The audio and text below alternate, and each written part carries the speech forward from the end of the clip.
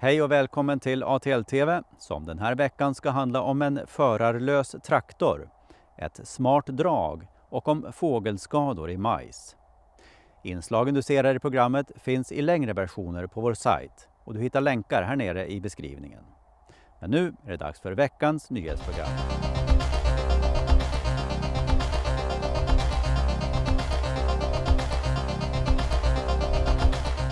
Premiärtur för förarlös traktor.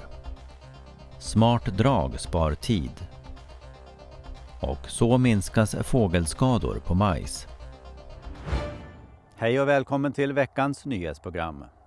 I förra veckan var det premiärtur för den förarlösa koncepttraktorn Drever 120.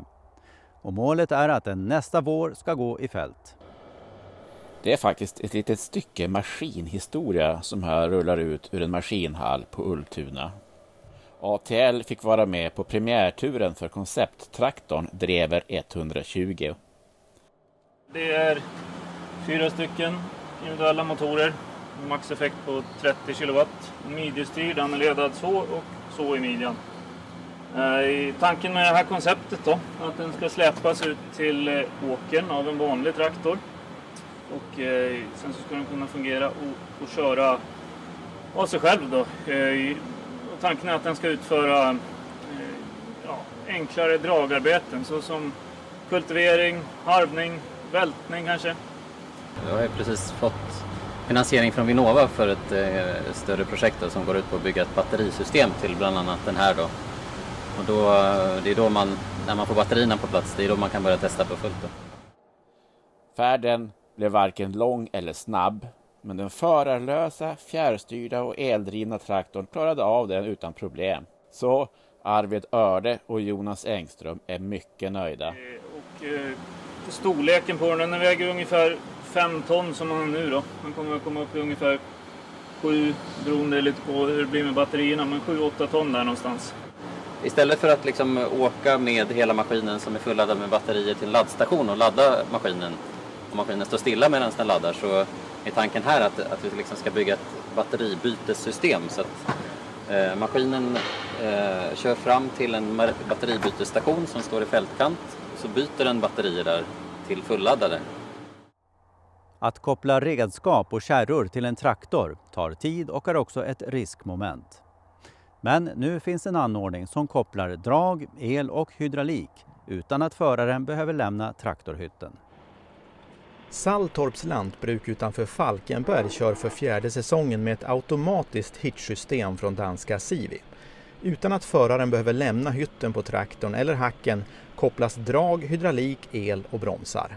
Systemet finns även med automatisk koppling för kraftuttag och isobus om det behövs. Man sparar tid, men för Saltorps lantbruk var den största orsaken arbetsmiljö och säkerhet. Vi vill ha ett säkert eh, drag som inte, så inte vi tappar vagnarna och vi vill ha ett, drag, ett drag som är arbetsmiljömässigt bra, alltså som eh, inte sliter på kroppen för mycket. Och eh, så hittade vi detta vid skörd kör man med två vagnar, en går bakom hacken medan den andra dras av traktorn till gården och töms och växlingen sker alltså i fält. Enligt tillverkaren säljs flest drag till maskinstationer. Med draget kan de då spara in en lastmaskin och en förare vid vissa sysslor genom att samma traktor snabbt kan växla mellan att lasta exempelvis en kalkspridare och sen även dra den i fält. Ekonomiskt går det räkna hem det här? Ja, det gör det på det viset att eh, det här med arbetsmiljö, det är svårt att sätta pengar på det. Men vi räknar på att det är alltså typ 600 växlingar. Eh, jag tror det, jag tror det kostade 200 000 det här och då säger att det håller i avskrivningstid på 10 år. Det blir inte så många kronor varje år så att det, det nej, det kan vi. Ja. Och som vanligt ska jag säga att inslagen du ser här i programmet finns i längre versioner på vår sajt atl.nu tv. Där kommer också ut nytt material under de flesta vardagar. Nu går vi över till nyheter i korthet. Havreskörden blir påtagligt sämre än väntat i år, både vad gäller kvantitet och kvalitet. Inte mer än 50 procent väntas klara klassningen grynhavre, trots att färgkraven sänkts. Klas kommer nu med en ny slottemaskin Disco 4400 Kontor med 4,2 meters arbetsbredd. Den burna slåttermaskinen kan lägga en eller två strängar och i transport vikas upp 120 grader för att få en höjd under 4 meter. Tyska Krone utökar sitt program med rundbalsinplastare med EasyWrap 165T. Den tar balar mellan 1 och 1,65 meter i diameter och lindar med upp till 40 varv per minut. Plastaren styrs från en Isobus-skärm i hytten. Lyckegård Group fortsätter att expandera. Företaget blir nu exklusiv återförsäljare av Trefflers sortiment i Sverige. Treffler tillverkar bland annat ogräsharvar, radhackor och kultivatorer. Och då har vi kommit fram till veckans Instagram-inslag. Det blir höstbruk och några Volvo-veteraner. Här är det Carrier XL-körning med Massey Ferguson 6485, årsmodell 2011 och med 5655 timmar på mätaren. Nu är det höstbruk på Marieborgs lantbruk i Västmanland. De gamla Volvo BM-veteranerna är uppskattade och här får de jobba. Volvo BM 810 från 1974 med Tive-såmaskin. Volvo BM 2200 som fixar slotten och den gamla baklastaren med en rejäl stengrep. I ett varmare klimat anses majs vara en bra gröda. Men det gäller att ha koll på fåglarna, annars kan majsfältet bli helt utan plantor, som i vissa av parcellerna i Hushållningssällskapets försöksodlingar. Ja, en stor snackis inom, inom majsodling det är det här med fågelskador.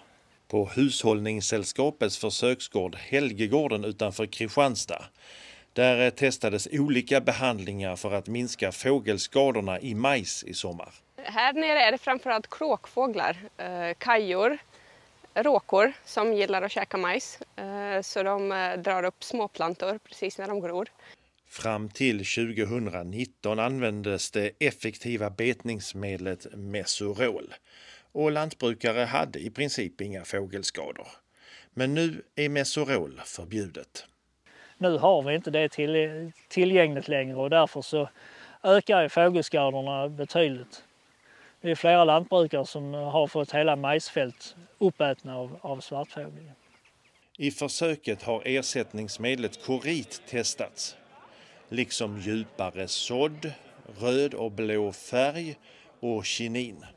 Det är ganska effektivt att behandla med korit och vissa andra behandlingar, till exempel att så lite djupare. Men det kommer nog aldrig räcka för att eh, skydda fullständigt.